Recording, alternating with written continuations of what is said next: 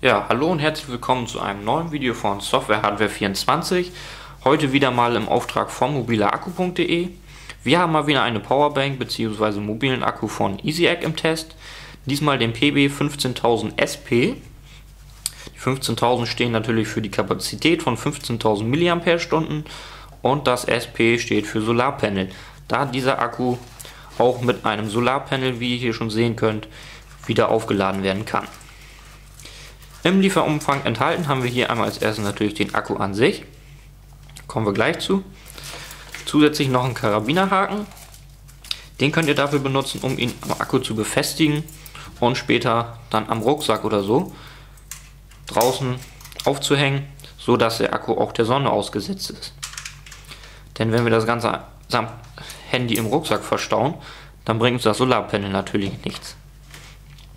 Dazu ist noch eine Bedienungsanleitung auf Deutsch, sehr ausführlich.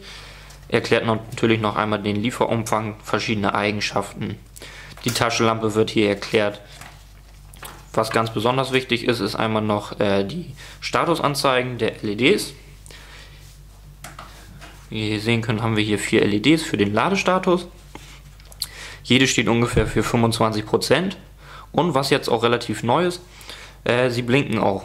Dadurch wird der Ladestatus noch etwas genauer angezeigt, sprich wenn nur eine LED blinkt, haben wir 0 bis 5%. Früher kam dann einfach gar nichts mehr. Das finde ich eigentlich relativ gut, da die Ladestatus so noch etwas genauer angezeigt werden können. Ja, das war soweit die Bedienungsanleitung. Es sind noch keine Problemlösungen werden hier noch bekannt gegeben. Wenn man ein Problem hat, warum er nicht lädt oder warum die Taschenlampe nicht funktioniert, findet ihr hier auch Hilfe. Ja, zu guter Letzt haben wir hier unter noch zwei Kabel. Ein kurzes und ein langes. Das lange Kabel ist 60 cm lang und das kurze 20 cm.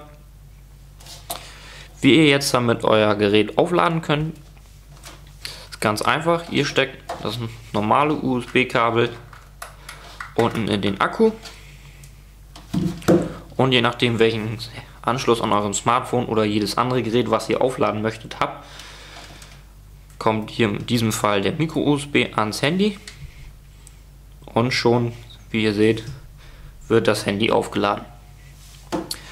Da wir hier natürlich zwei USB-Anschlüsse haben, könnt ihr auch zwei Geräte gleichzeitig mit Strom versorgen.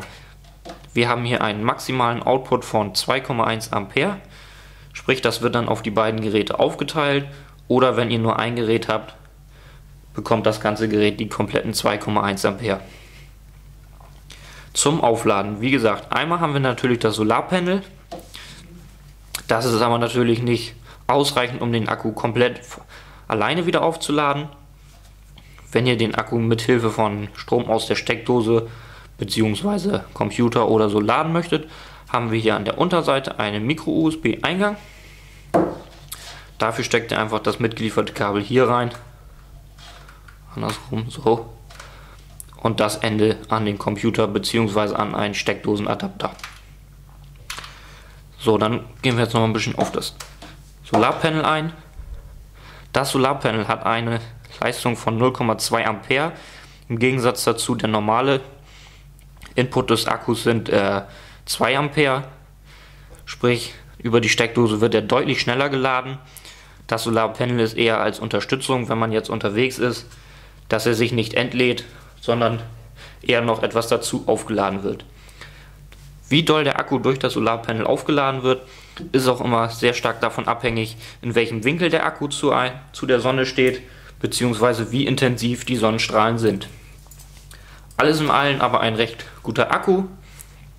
Vor allem, wie gesagt, wenn man draußen unterwegs ist. Vielleicht nicht gerade für den Flieger oder so gedacht.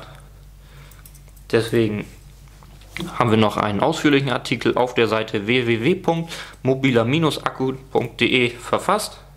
Hier findet ihr auch noch weitere Bilder dazu. Und jetzt stellt sich nur noch eine Frage. Musik